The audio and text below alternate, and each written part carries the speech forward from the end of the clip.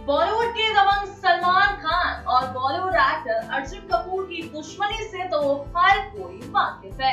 लेकिन आपको बता दें, हाल ही में अर्जुन कपूर सलमान खान को पछाड़ कर कहीं ना कहीं आगे निकल गए हैं। दरअसल आपको बता दें, ऐसा हम नहीं, ऐसा खबरें कह रही है। दरअसल खबरों की माने तो एक इंटरव्यू में अर्जुन कपूर से सवाल किया गया कि वो किस फ्रेंचाइजी का हिस्सा बनना चाहेंगे। तो अर्जुन कपूर ने तुरंत जवाब दे डाला धूम सीरीज़ का। जी हाँ उन्होंने कहा कि मैं धूम फोर करना चाहता हूँ तो वही ये उम्मीद भी लगाई जा रही है कि इस बार धूम फोर में अर्जुन कपूर नज़र आने वाले हैं। वहीं पहले खबर थी कि इस फ़िल्म में सलमान खान नज़र आने वाले हैं, और अब खबरों की माने तो सलमान खान नहीं, बल्कि अर्जुन कपूर धूम फोर में नज़र आ सकते हैं। और अगर सलमान को ये बात पता चली तो उनके दुश्मन अर्जुन ने उनको पछाड़ दिया है तो उन्हें काफ़ी ज़ोर का झटका ज़रूर लगने वाला है।